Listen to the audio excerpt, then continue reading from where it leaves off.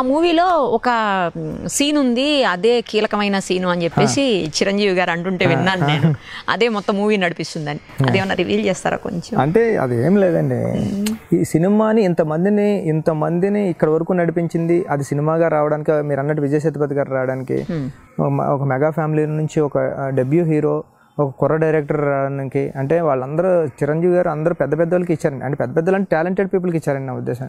ఒక నేను ఏ సినిమా చేయలేదు నేను ఏమీ చేయలేదు కానీ నాకు ఒక సినిమా చిరంజీవి గారు ఇచ్చేసి నువ్వు వెళ్ళి తీసుకుని పోను మా ఇంట్లో నుంచి కుర్రని. అది కూడా ఆషామాషిగా ఉండడండి ఆ కుర్రాడు. చాలా అందగాడు.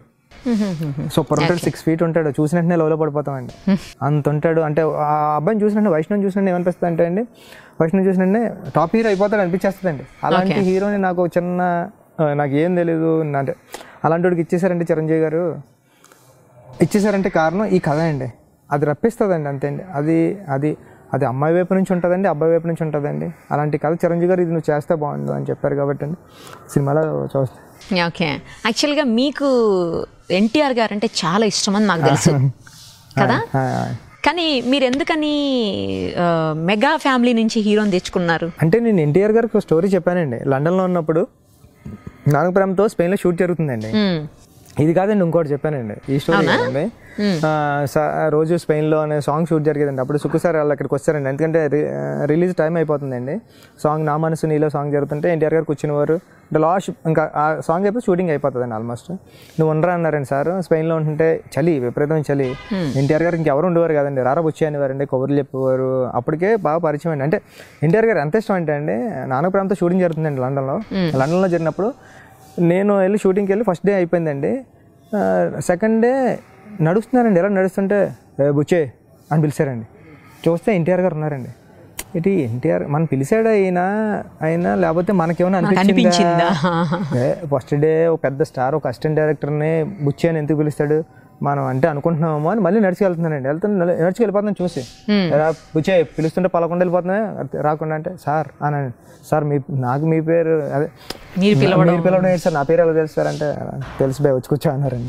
కూర్చొని ఇంకా అలా అక్కడ నుంచి అలా పరిచయం అయిందండి. అంటే అంటే ఎన్టీఆర్ గారి దగ్గరికి వెళ్తే ఏం ఉండవండి. అంటే నువ్వు అసిస్టెంట్ డైరెక్టర్ ఏం ఉండవని చెరిపేస్తాడండి.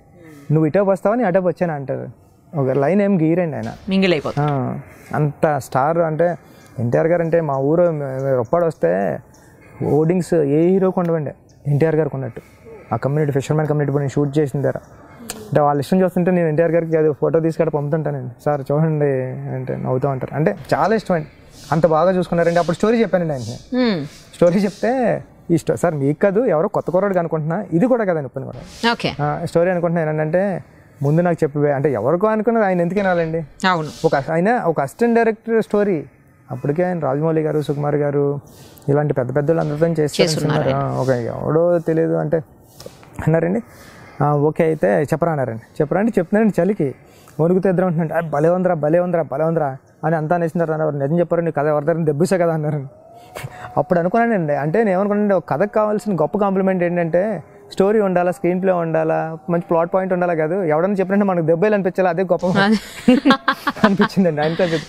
కథ కావాల్సిన గొప్ప కాంప్లిమెంట్ అదండి. మనకి ఎందుకు రాలేదు ఐడియా అనిపించాలి. అవును. అలా ఎన్టీఆర్ సార్ అప్పటి నుంచి ఇప్పుడు కూడా షూటింగ్ జరుగుతున్నప్పుడు చరణ్ గారు ఇద్దరు కాల్ చేస్తుంటారండి. నాకు ఇద్దరే హీరోలు బాగా తెలుసండి.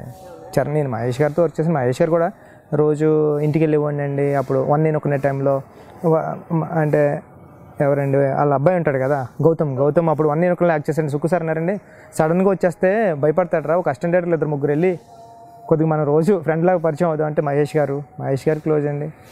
నమ్రత గారు ఆ టైంలో అంటే వాళ్ళందరూ అంటే పెద్ద అప్పుడు నమ్రత ఆ- అప్పుడే పుట్టిందండి ఎవరు సితార. సితార్. జస్ట్ నేను ఇలా లోపలికి వెళ్ళిన తర్వాత భలే ఉంది అంటే క్యూట్ కంటే ఆమె తీసుకొచ్చి చేతిలో పెట్టేశారండి. ఓ. అంటే బయట నుంచి వస్తాం మనం ఎక్కడ డస్ట్ ఉంటుంది ఏమీ లేదండి అలా. అంటే అప్పుడు అనిపిస్తుందండి ఏంటంటే వీళ్ళందరూ ఊరికనే గ్రేట్ పీపుల్ అయిపోరు ఎంతో సోల్ ఉంటుంది లోపల. వాళ్ళ యాటిట్యూడ్ తోటి గ్రేట్ అవుతారండి ఎవరైనా కూడా. ఎగ్జాక్ట్లీ అండి ఎగ్జాక్ట్లీ భలే చెప్పారు. సో అందుకని ఈ హీరో అయితే కరెక్ట్ అని యాప్ట్ అని ఈ హీరోని ఎంచుకున్నారు. అంటే నాకు ఇన్స్టాలో ఎవరో చూపించారండి. మరి నువ్వు హీరో ఎత్తుకుంటున్నావు కదా ఈ అబ్బాయి బాగుంటాడండి. ఎవరంటే సాయిధరం తేజ్ గారు బ్రదర్ అని చెప్పారండి. చూస్తే భలే ఉన్నాడే అండి. వెంటనే సుక్కు సార్ దగ్గరికి వచ్చి సార్ సాయిధరం తేజ్ గారు బ్రదర్ ఈ కరెక్ట్ కరెక్ట్ సరిపోతారు? అంటే అవునా? నువ్వు ఎప్పుడు చూసారంటే ఎవరో చూపించారు చూసాయండి. అంటే వెతుకుతున్నానండి హీరో అప్పుడు అప్పుడు సార్ పిలిపించారండి. పిలిపిస్తే నేనేమో "ఆ, అరే నువ్వు చూడకు.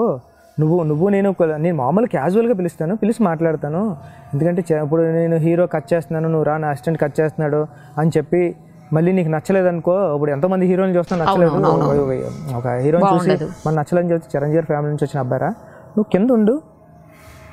లాబీలో ఉండు. చూడు అక్కడ నుంచి అంటే నేను దొంగచాటుని పెళ్ళి చూపులు చూసినట్టండి. వైష్ణవ్ వస్తున్నాడు. అండి కార్ దిగాడండి కార్ దిగాడు.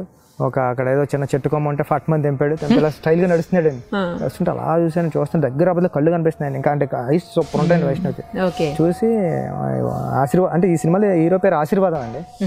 ఫిషర్మెన్ కమ్యూనిటీ అచ్చు ఆశీలాగా ఉన్నాడు. ఫిక్స్ అని వచ్చానండి అప్పుడు సుఖసారి మాట్లాడారు నా అసిస్టెంట్ ఇలా తెద్దాం అనుకుంటాను మీ స్టోరీ వినండి అంటే అండి వైష్ణవ్కి నేరేషన్ ఇచ్చానండి. చాలా బాగా నచ్చిందండి వైష్ణవ్కి. అంటే బాగుంది. అంటే కొద్ది షాక్ అయ్యాడండి. బాగుంది. సార్ నేను అంటే బాగుందండి కానీ నేను డెసిషన్ తీసుకోను. ఎందుకంటే మా మా- నా ఫస్ట్ సినిమా మా మామ చేతిలో పెట్టాను. పెద్ద మామ చేతుల్లోని మామ ఓకే అంటే నేను చేస్తాను. నాకు నచ్చినా నచ్చకపోయినా మామ ఓకే అంటే చేస్తాను. కానీ నాకు నచ్చింది. నాకు నచ్చిందే పంపుతాను మా అమ్మ దగ్గరికి. నచ్చకపోతే ఇక్కడే స్టాప్ అయిపోతుంది కదండి. కానీ నాకు భలే నచ్చింది. కొత్తగా ఉంది బాగుంది అని అప్పుడు చిరంజీవి వన్ వీక్లో చిరంజీవి సార్కి నేరేషన్ ఇమ్మని చెప్పాడండి వైష్ణవ్. ఓకే. సో ఇంక వెంటనే నేను ఓకే చేసేసాను ఆ, చిరంజీవి సార్ దగ్గరికి వెళ్ళి నేరేషన్ ఇవ్వడానికి ఇక నా ప్రిపరేషన్ చూస్తే మీరు నేను ఎంసెట్ ఐసెట్ ఇలాంటి ఎగ్జామ్ రాసినప్పుడు కూడా ఇంత ప్రిపేర్ అవ్వలేదు. అంతేనా? అంటే ఎంసెట్ ఎగ్జామ్ రాసినప్పుడు కూడా ర్యాంక్ వస్తే వస్తుందని రాశానండి. ఐసెట్ మాత్రం ఇక్కడ ఎంబీఏ కాబట్టి అది కొద్దిగా ప్రిపేర్ అయ్యాను. వెళ్ళి. చిరంజీవి సార్కి ప్రిపరేషన్ అండి. ఒక రేంజ్లో ప్రిపేర్ అయిపోయి ఇంకా వాష్రూమ్కి వెళ్తే వాష్రూమ్లో వినడం వాకింగ్కి వెళ్తే వాకింగ్లో ఉండడం నేను నేరేషన్ నాకు వినడం అండి. ఇంకా నాకు టెన్షన్ వచ్చేసి దాన్ని భోజనం చేసేవాడిని కాదు చిరంజీవి సార్ నేరేషన్ అంటే. ఎందుకంటే చిరంజీవి గారిని కలిసినప్పుడే నా ఫీజులు ఎగిరిపోతాయని తెలిసింది. ఏం మాట్లాడతాం ఆయనతోని? వెళ్ళి కూర్చోనండి వచ్చారండి బుచ్చిబాబు మంచి మాస్ విజిలేసే కుర్రాడు ఎలా చెప్తారు అలా చెప్పన్నారు. ఏ ఊరు మీద అంటే పిఠాపురం సార్ అంటే సుకుమార్ గారు అంటే నాకు అప్పుడు కొద్దిగా పరిచయం ఉందండి. రంగస్థలం టైంలో రంగస్థలం చరణ్ గారు పరిచయం చేశారు ఓహో ఓ రెండు మూడు సార్లు చరణ్ గారు పరిచయం చేస్తే ఆ- చిన్న రాపోంది నన్ను నన్ను చాలా ఫ్రీ చేశారండి. నేను అంటే నేను ఇంతమంది నేరేషన్ ఇస్తుంటే చూశాను కానండి. చిరంజీవి సార్ నేరేషన్ ఇస్తుంటే ఇప్పుడు విజయ్ సేతుపతి వస్తారు అంటే విజయ్ సేతుపతిలో ఎక్స్ప్రెషన్ పెడుతున్నారండి. ఇప్పుడు హీరో వైష్ణవ్ వస్తాడంటే వైష్ణవులో అంటున్నాడు. హీరోయిన్ వస్తుందంటే ఆయన కళ్ళు హీరోయిన్ వస్తుందంటే హీరోయిన్ ఏ ఎక్స్ప్రెషన్ ఇస్తుందో ఆ కళ్ళు ఇస్తున్నాయండి చిరంజీవి గారి కళ్ళు. అప్పుడు అనుకున్నానండి. అప్పుడు అనుకున్నానండి ఏ కదన్నా చిరంజీవి సార్ చెప్పాలి అంటే ఇన్స్పిరేషన్ మనకు తెలియకుండానే మంచి అంటే భయం అంతా పోయి మనం ఫ్రీ అయిపోయి మనకి మన క్యారెక్టర్లు అన్ని చిరంజీవి గారు అంటే నేను ఇది ఎవరికి చెప్పలేదండి. మన క్యారెక్టర్స్ అన్ని చిరంజీవి గారిలో కనిపిస్తూ ఉంటాయి. మన మన- నోటంటే ఒక అమ్మాయి వస్తుంది దాని బదులుకి అమ్మాయి ఎక్స్ప్రెషన్ ఇస్తారండి. మన చేతి నుంచి ఇప్పుడు హీరో గారి ఫ్రెండ్ వస్తున్నాడు అనుకున్నాడు అనుకోండి అంటే అవి పట్టుకుని మనం క్యారెక్టర్ ఇంకా డెవలప్ చేసుకోవచ్చండి. ఇప్పుడు హీరో ఫ్రెండ్ ఉంటాడండి ఆడు తాలింపాడు వస్తుంటాడండి అంటే అవునా? అడు అని ఒక బాడీ లాంగ్వేజ్ పెడతారండి చిరంజీవి గారు. అరే అని అంటే ఇంక అప్పుడు అనుకున్నానండి. ఎప్పుడు లైఫ్లో ఎప్పుడు కట్ చెప్పినా చిరంజీవి సార్ ఫస్ట్ చెప్పేసి. తర్వాత మనం- రాసుకోవచ్చు బాగా నేను ఏ హీరో అయినా.